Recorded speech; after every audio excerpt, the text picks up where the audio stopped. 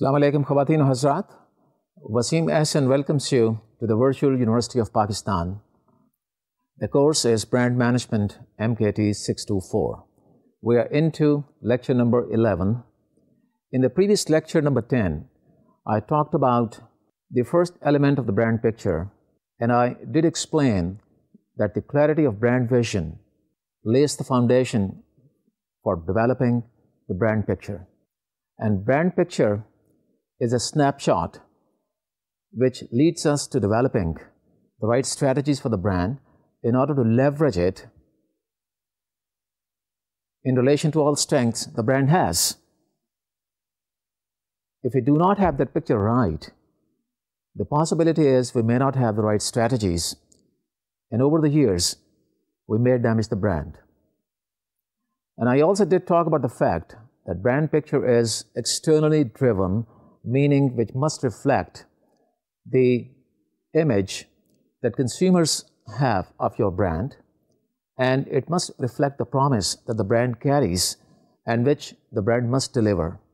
And then I talked about different levels of associations with which consumers have in the minds, and the levels of associations develop into their minds as one component of the brand image.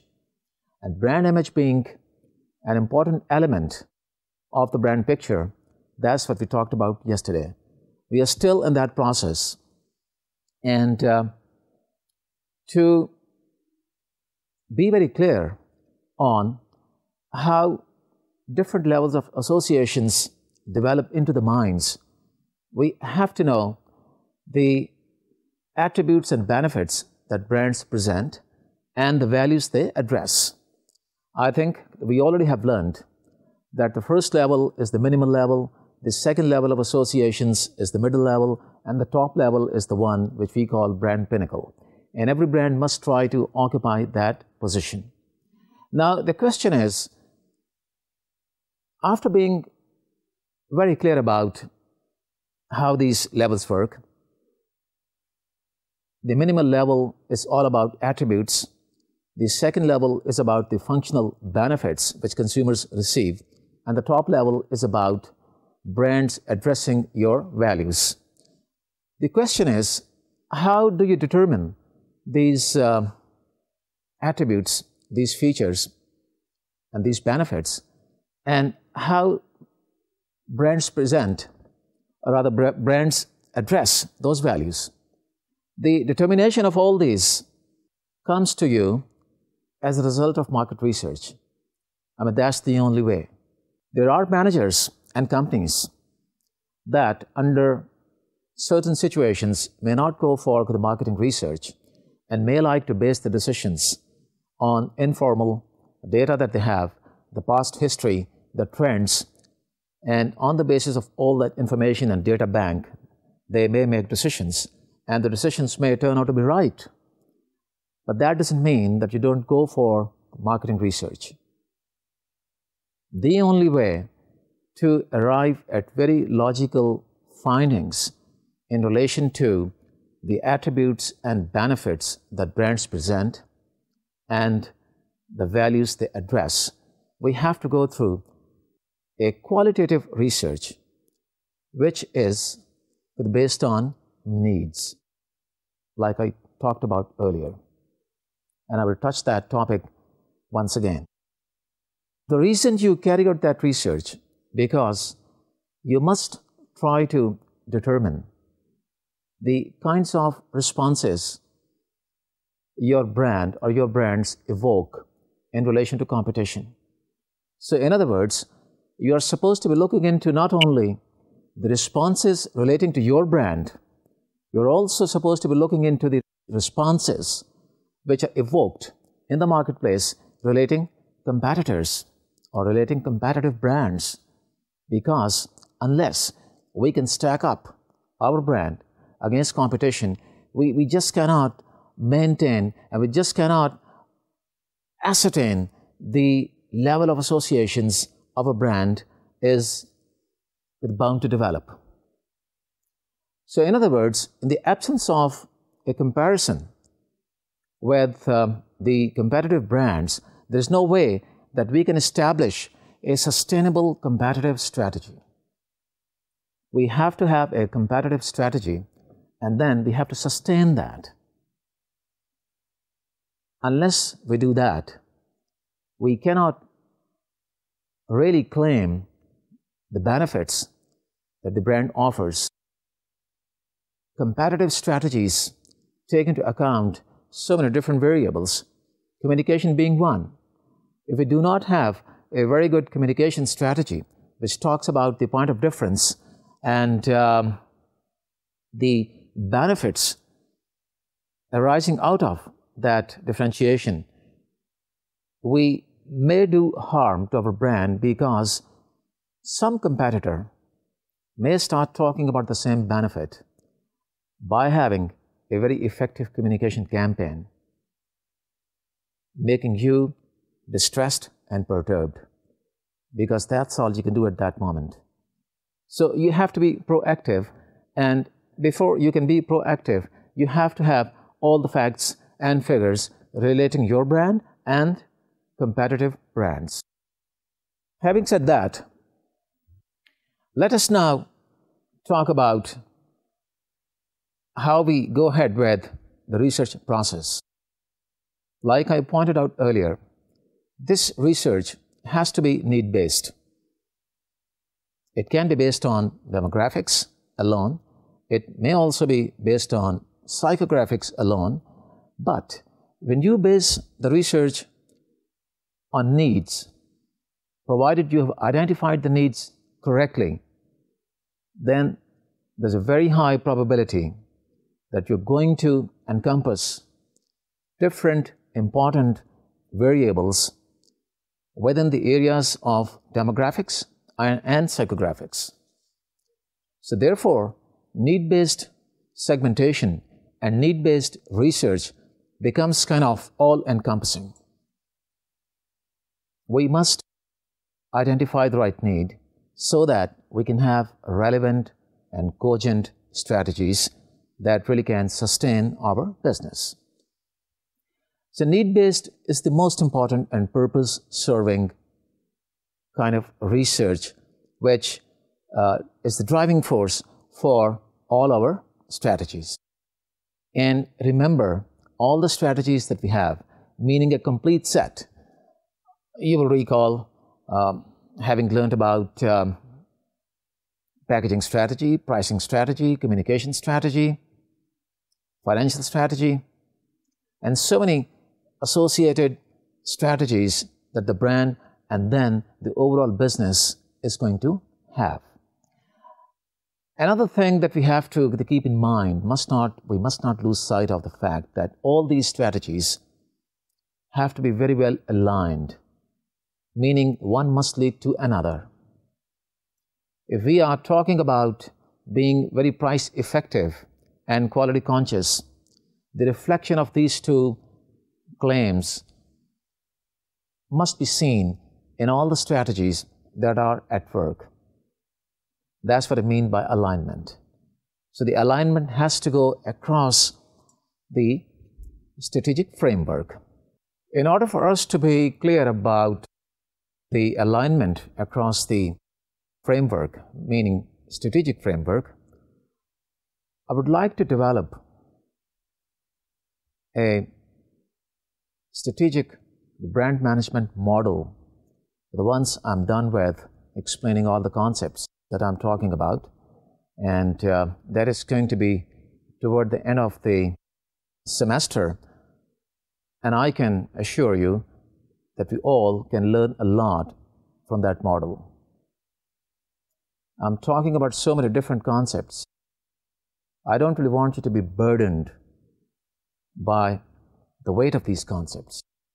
And in order to be clear as to how to be very succinct and very explicit and very brief while you're developing a plan so that there are no extra words within the planning framework so that every word that you use means either strategically or in execution terms, tactically, we're going to talk about all that. So wait until that time. We are clear that um, our research is going to be need based. And we're also clear that it is the need based segmentation that we are working on. Now, the question is what is the population we're going to talk with? It goes without saying that it is the target audience. Who are the consumers who constitute their target audience? It is your customers, your present customers, your past customers, and your potential customers. When I talk about past customers, it automatically means that we're talking about those who are not very loyal, or maybe who are disgruntled, or dissatisfied due to one reason or another. So you, we have to find out through the research process what is it that has made them dissatisfied and disgruntled? What are the factors? So the questions that you have to design and ask should be put forward in a way that you should get the intended answer. I don't mean that you should get the answer which you like. No. You have to have the right hypothesis while you're designing one particular question. Maybe you know, or rather you know, that there are some lapses in the distribution system, there are some lapses in the quality control, and there are problems in some other areas because you keep getting those kind of complaints from the marketplace in the informal way. When salespeople are in the market, when you are in the market, you interact all the time with members of the trade, with consumers, and with all the influencers. And therefore, you know the kind of questions that you must ask in order to bring back to the fold of your brand the lost customers. You must also talk with customers of your competitors because you are out to find out the levels of associations that consumers of your competitive brands have in their minds. And that's the only way to compare your brand against competition. You must also include in your research design category influencers like distributors, retailers, and also competitors' staff. Talking with these people, meeting them once in a while, doesn't really hurt. As a matter of fact, that leads you to go for real, credible market research. There are certain markets where talking with competitors or their staff is against the business religion. But that, fortunately, is not the case in our market.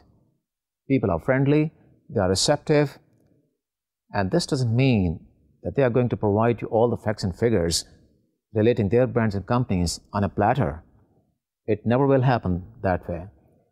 All I'm saying is, during the process of conversation, you might be able to figure out something relevant which will help you arrive at cogent findings.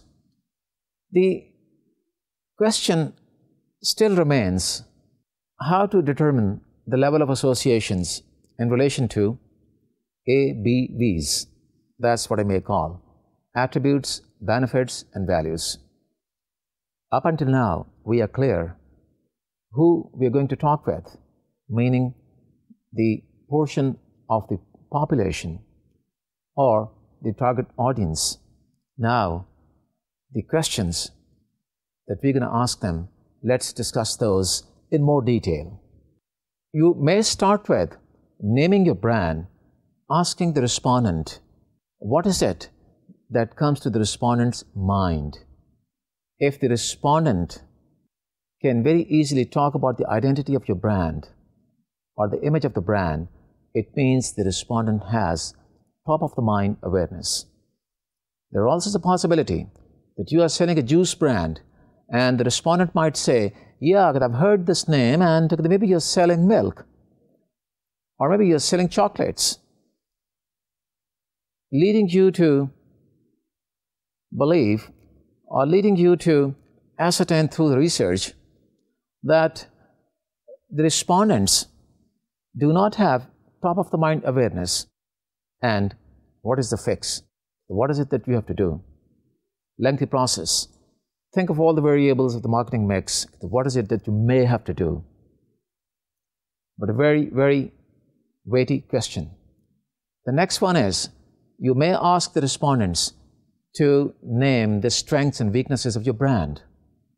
Now, nobody has that much time to start counting on their fingers, well, this is one, this is two, this is three. The practical way of going about that is that you list down a few strengths which you think your brand should have or you think your brand does have, along with weaknesses. When you know that a brand, that your brand does not have one particular strength, chances are it will become your brand's weakness. So you can list those down and assist your respondents, tell you very honestly and candidly what they think are the strengths and what they think are the weaknesses. And I think it goes without saying, having known that, you are well set on the way to determining what really is right and what really is wrong. The next question that you might ask them in relation to the question which I've just talked about is what is it that has contributed to your perception of our brand, again, in relation to strengths and weaknesses? Now, this may sound like a very open ended question, the answer to which may be in paragraphs, uh, but that's not the inten intention.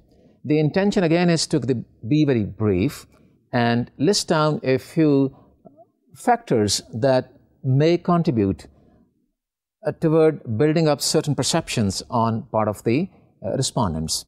Uh, those factors could be relating uh, distribution, factors could be relating the product quality in the first place. Um, it could be about very effective communication, like uh, your brand is very good, it's of good quality, and at the same time, the communication is so good, the campaign that you have launched on the television and also in the paper, etc., etc., makes such a good contact with us, and it touches such an emotional card inside here that you know we remember what's going on in the market. So you are in a position to find out what really contributes toward their perceptions if you have designed your question very realistically and practically. A few more questions. You can ask respondents what are their expectations of your brand? Again, a question, the answer to which can be very open ended. But the trick here again is to list down a few expectations. And while you list those down, those again have got to be very well aligned with all the things and with all the variables, with all the aspects that you already have listed down in order to elicit and evoke answers from the respondents. And don't forget, these are the factors which are part of the strategies that you are going to develop and you're very clear about the strategic direction because you have the right vision. You already have built that, and you are now in the process of building up the brand picture. You can frame the next question like, what really are your expectations? And again, you have to list down a few things which you think and should be uh, forming their expectations. You can ask them the benefits that your the brand provides them with. Here, again, you've got to be very clever and very realistic. Uh, when I say clever, it doesn't really mean that you have to outsmart your uh, uh, respondent or your customer or you know competitor's customer. No, the objective is to, find out what really are the benefits which um, the respondent is receiving, and uh, only if you know that very correctly, that you can find out the right level of associations that the respondent has developed with your brand. You can ask another question to your respondents like, um, would you recommend our brand to others? If you would, why? This again is a very qualitative kind of a question, and respondents will need some kind of assistance from your side in order to be able to answer this question. Do the same I explained earlier. Maybe you have a multiple choice kind of answers and read those out to the respondent for them to give you one or a combination from within those multiple listings. This question is asked because there are many consumers in the marketplace, you being one as a consumer, who always like to talk about brands. You may not have seen a person who never talks about recommending one brand to uh, their friends, uh, their relatives, uh, their neighbors, so on and so forth. Why does that happen? You have to be clear about that before you design this kind of a question. You remember the brands satisfy your decision process, that your decision was the right decision to go for the brand because it was a wise decision. You like to make sure that it was the optimal decision because you went for the best brand. And when you go for the best brand to purchase, that is a reflection of your personality. You are important.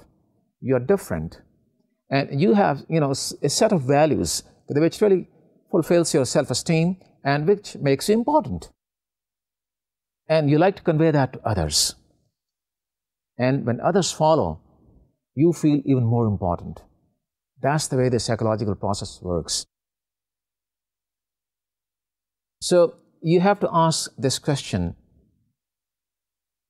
If the respondents are going to recommend your brand to others why and when you ask why, again you may as well have a small listing of different variables from within which they have to choose one or maybe more than one. You may ask them a question like, how would you describe our brand to others? This question also will fall within the domain of a brand persona, which I'm going to talk about in a short while. This question will lead to respondents to tell you, or rather will lead them to describe your brand.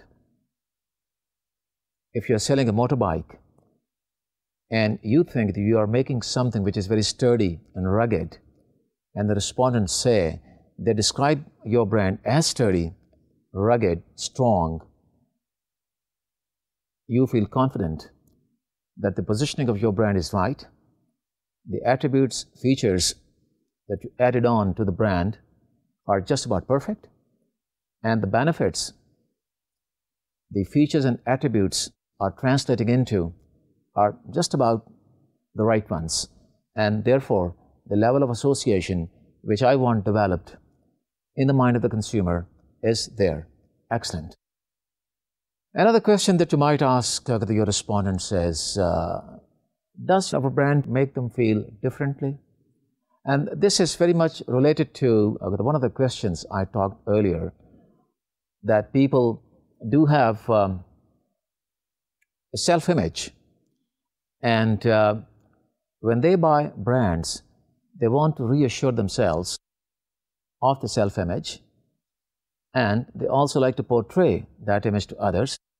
So if they really feel differently by using your brand, meaning important, that gives you a very good lead into determining the level of association which your brand has developed in the marketplace. This was a set of possible questions that you may incorporate into your research design while going ahead with determining the ABVs, meaning attributes, benefits, and values. Now, if you are working for a company which is very small or which is small and does not have the kind of budget to go for this kind of research, because market research is carried out by the marketing research professionals. this is not something which is uh, generally taken care of uh, by the marketing staff themselves.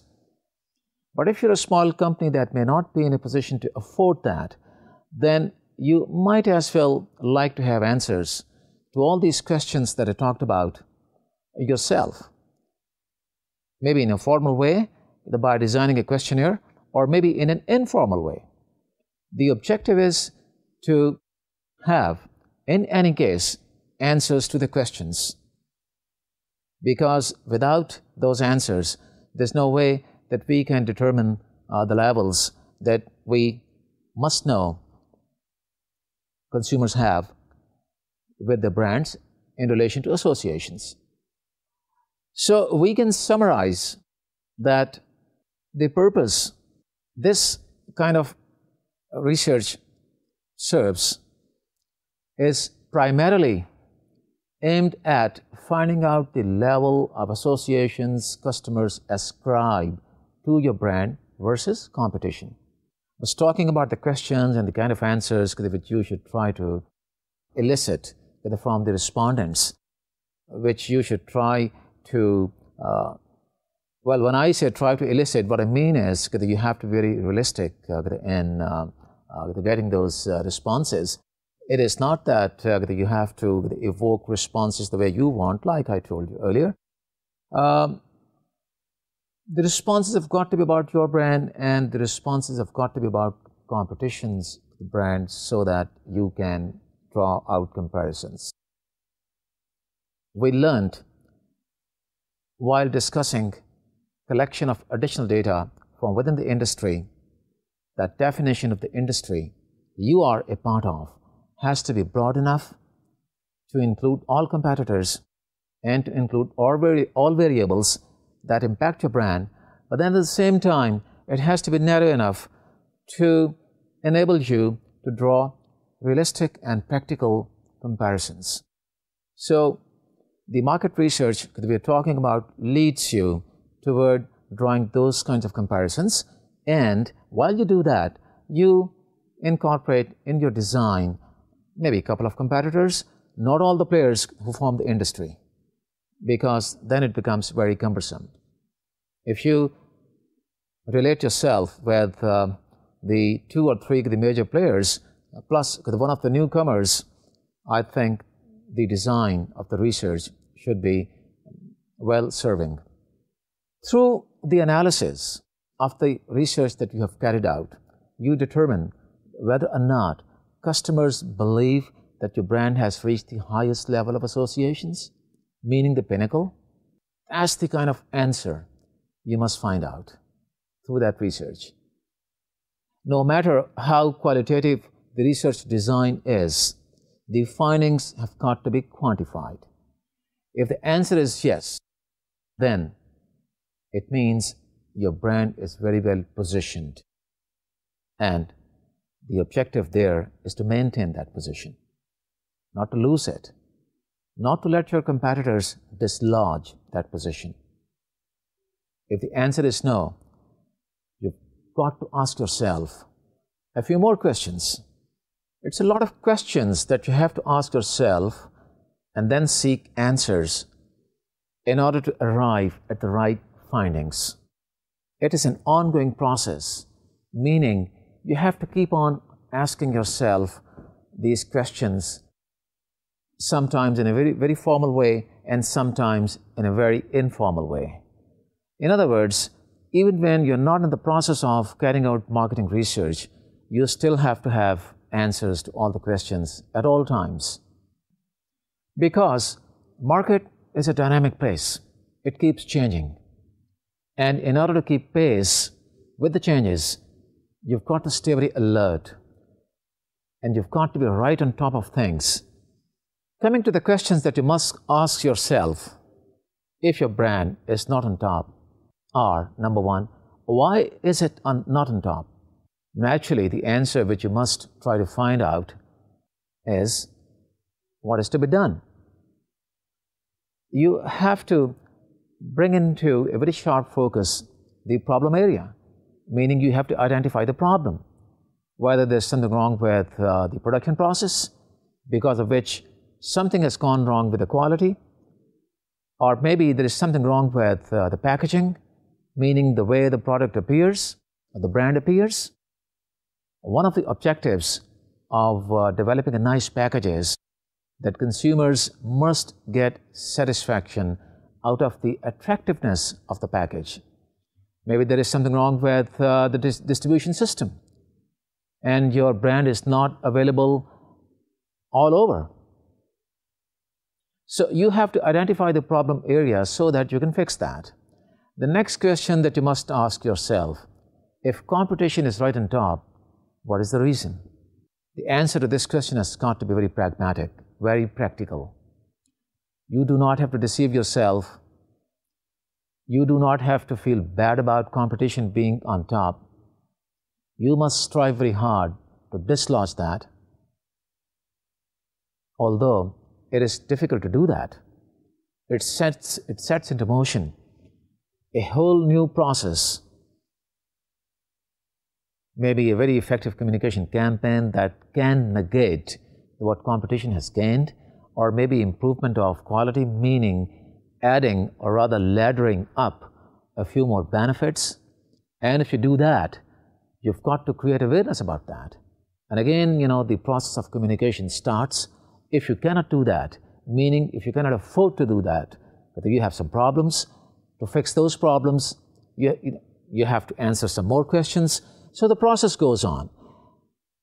You have to, one way or the other, find out why is competition on top. And then the third question stems from the two questions that I've talked about. And it is very obvious what is it that we have to do? And we have talked about that. You have to take into account different areas where things have gone wrong and fix those. There are three fundamental keys to developing the right associations. I mean, after you have asked yourself so many questions, you have answered questions, three fundamental keys that I would like to talk about are very important, and that adds to our understanding of uh, the concept of uh, the brand value pyramid meaning uh, the whole concept of development of associations in consumers' mind, because that is all we are talking about. The first is that movement from the bottom block to the top, meaning the pinnacle of the pyramid, has got to be incremental. What does that mean? That means that when you are at the lowest level, you just cannot jump to the topmost level. So you have to be at the first level which is the primary or the elementary level, in order to start the journey. And then you move on to the next level, which provides a higher level of association. And from there, you move on to the top level. So movement to the next level is dependent on achievement of the previous level. We can put that in these words.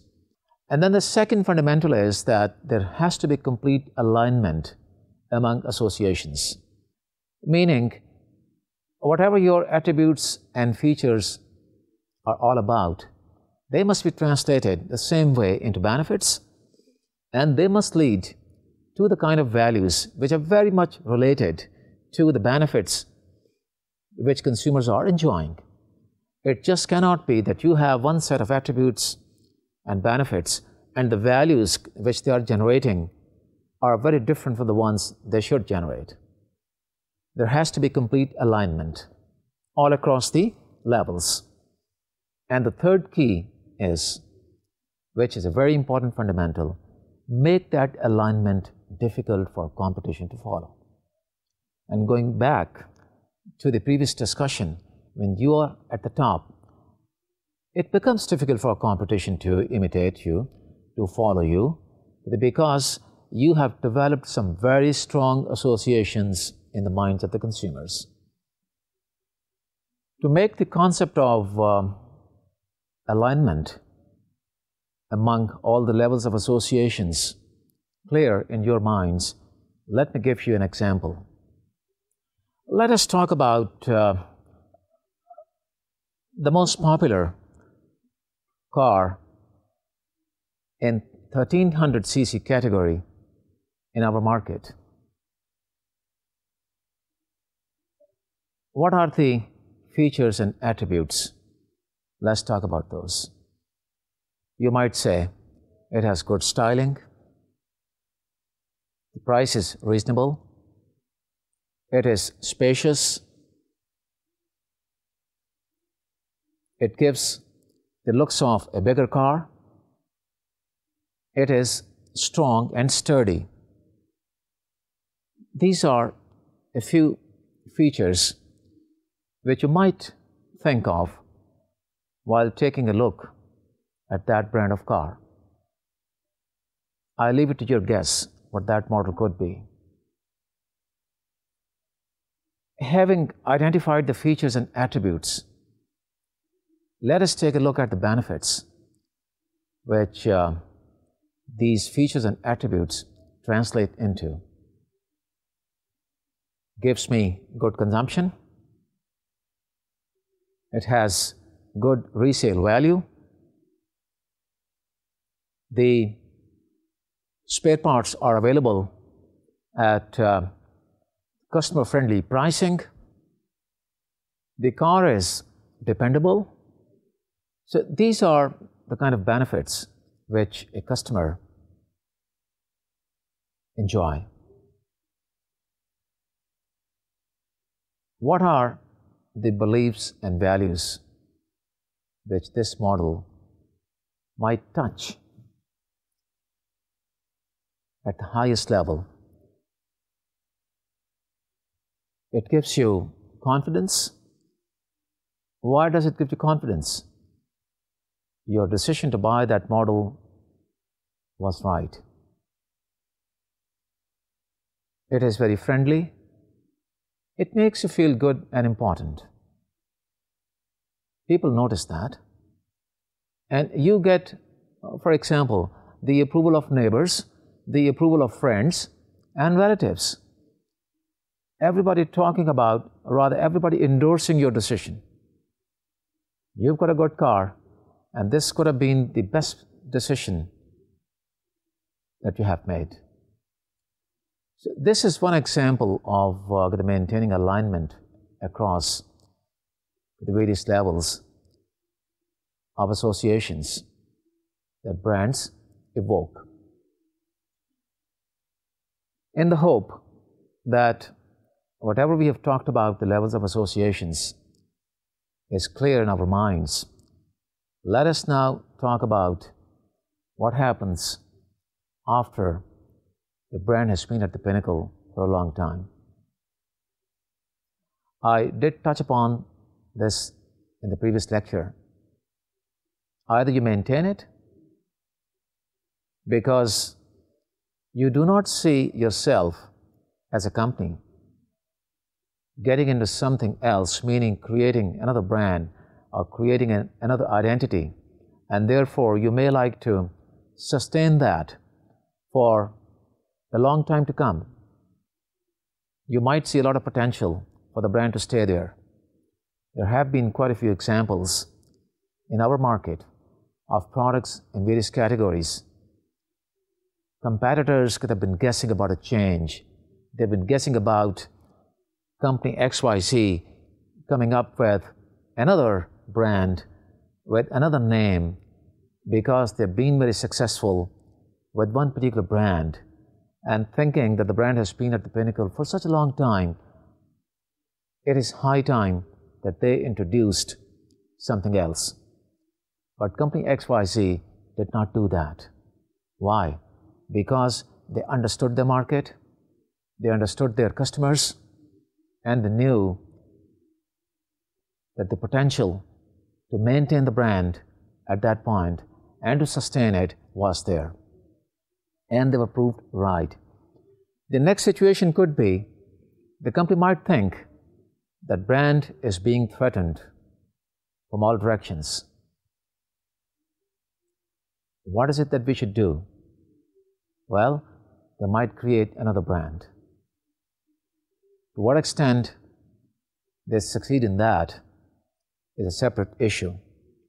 I gave you an example in the previous lecture. If the company has very strong reputation, the company can succeed with a new entry or with a new identity, a new identity altogether with a new brand name. If the company does not have good reputation, or if the company makes certain uh, mistakes with the basic marketing philosophy, the brand may not succeed. But again, this is a separate discussion. What you have to keep in mind, what is it that you should do either to maintain the brand or to introduce another brand. And you've got to be very clear about the timing, you've got to be very clear about the potential, and you've got to be very clear about the threats, and you've got to be very clear about the opportunities that those threats may offer. Having uh, talked about all this, let us now draw the conclusion of uh, the levels of associations. The conclusion is that any brand in any category must try to achieve the topmost slot of the pyramid.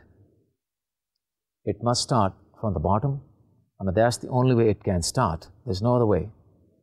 And all the way through the top. Once it is there, it has the power to charge price premiums because all the marketing effort that is being undertaken is not being undertaken for the sake of fun. It is being undertaken for the sake of doing some real hard business. So the brand has the power to charge premiums. Customers will accept that. Competitors will find it very hard to follow. And that is where the research findings by PIMS come into play. That is why there is such a lot of difference between the financial contributions offered by two different brands, meaning the number one brand and the number two. There is such a gulf because the topmost brand has the power and therefore the privilege to go for a price premium and therefore good profitability and good price earnings. As a brand manager, you must strive to develop as strong associations as you can. And the way to do that, you know that now. You've learned it. That brings us to the next component of um, brand image, meaning how to develop that. I keep on rubbing in one point that we did talk about image at one time, which was maybe lecture number one or lecture number two, but we only talked about that from the standpoint of a translation of your brand's identity and the need for it to be taken right and the need for the identity to be right. We did talk about those things in a very macro form and now we are right now in the process of building that brand image. And to repeat, brand image has two components. The one is associations, which deals with brand's characteristics, its properties, its strengths and weaknesses. And the other component is brand persona. Let us now talk about brand persona, what that is. Along with associations, brand persona provides a complete understanding of the brand image. You have this component, which is associations, and you have another component, which is sitting right here. And these two coming together form the brand image. Brand managers look at brands from uh, the standpoint of human and other characteristics that can be easily identified. The objective here is to personify the, your brand and let the consumers associate themselves with the brand and let the consumers express themselves about the brand in terms just as they would express themselves and associate themselves with humans. For example, you might talk about somebody being strong and rugged, and you may also talk about a product being strong and rugged. Let me explain this with the help of uh, with a few examples. Let us talk about um, a car. Like I said, you might say the car is very strong and sturdy, just like uh, people relate to other persons from a certain geographic area and call them strong and sturdy. And that is the case with all the countries of the world. There are certain parts, people from where are known for their certain characteristics. The rugged, the strong, the warriors, the polite, the cultured, the difficult, whatever. So, by the same token, you try to personify your brand by giving it characteristics which are very human in nature. And therefore, you can talk about a car which is strong and rugged. An example could be the distinction between a four wheel drive and a nice looking luxury sedan. A four wheel drive vehicle can be described as warrior and tough, for example. Whereas a luxury car can be characterized or personified as something very majestic and stylish and smart. Let us now talk about a brand of biscuits, which is uh, top of the line brand, and it is basically positioned for afternoon tea time, mostly to serve your honored guests, meaning it is an expensive brand. You may talk about that brand as being sophisticated, just like you talk about a person being sophisticated. You will not call that brand funny. You will not call that brand difficult, for example. By the same token, you might take the example of a brand of biscuits which is positioned for fun loving kids. And you might describe that as funny.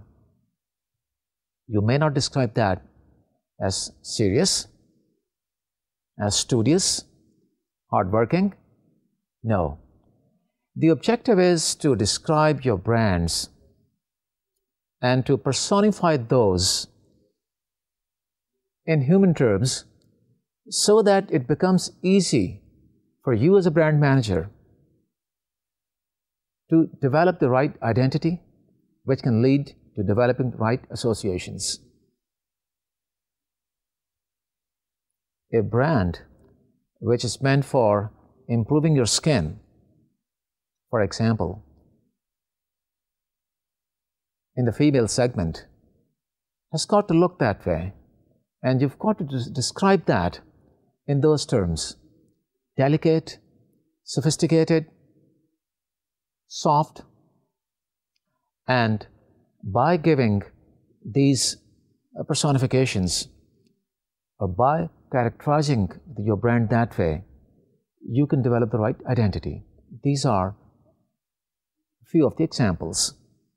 And when we start developing our model, like I said at the beginning of this lecture, which will be toward the end of the semester, we shall develop a very clear understanding of what I'm talking about.